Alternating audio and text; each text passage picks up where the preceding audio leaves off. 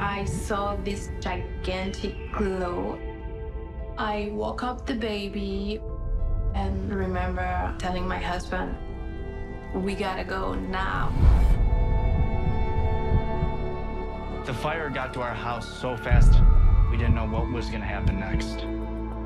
I lost my home. It was devastating. All those houses, they were just gone.